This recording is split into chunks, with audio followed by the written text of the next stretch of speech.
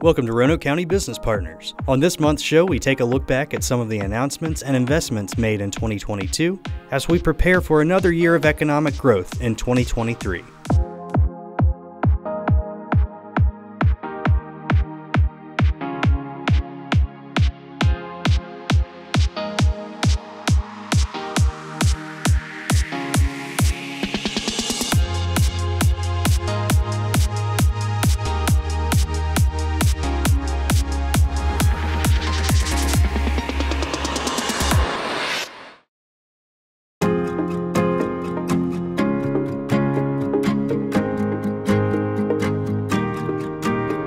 Roanoke County saw more than $170 million in announcements and investments in 2022, with over 550 jobs. Let's take a look at some of the highlights over this past year.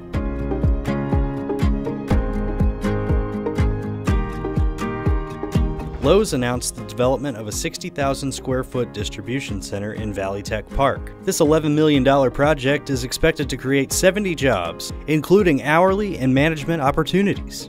Governor Youngkin announced that North American Specialty Laminations will establish a mid Atlantic operation in the county. The new business will be located in a 57,000 square foot facility on Benois Road and will serve the company's east southeast customers. Fallowater Square held its grand opening in the Cave Spring area of the county. This new construction, developed by A. Boone Homes, is 17,000 square feet and is fully leased with tenants Long & Foster and National Spine and Pain Centers.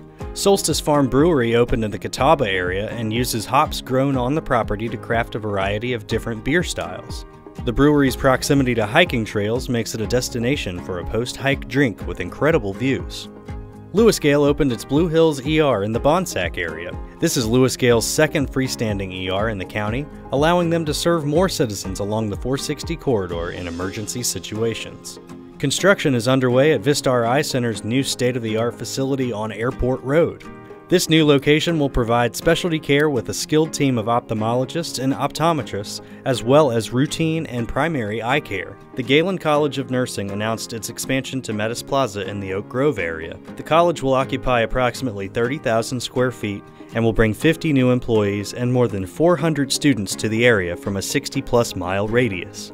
Children's Nest Learning Center has broken ground on a 7,000 square foot expansion project in the Hollins area. The expanded facility will feature a splash pad and the ability to accommodate 150 more children into their program. Burlington and Skechers backfilled vacant space inside Tanglewood, and two additional outparcels are being developed to accommodate Chili's and Popeyes. Carilion continues to increase its presence in the area by bringing its psychiatry and behavioral medicine outpatient services to Tanglewood. The mental health services will occupy 37,000 square feet spanning two floors.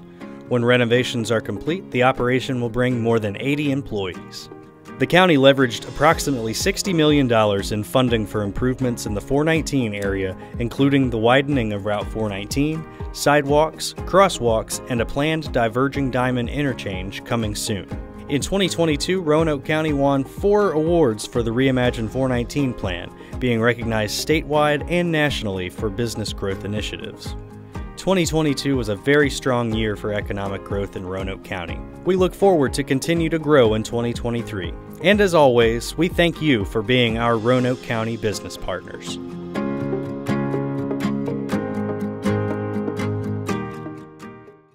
Thanks for watching Roanoke County Business Partners. You can stay up to date on economic development news at yesroanoke.com, and you can subscribe to our monthly newsletter by clicking on the News tab on the homepage.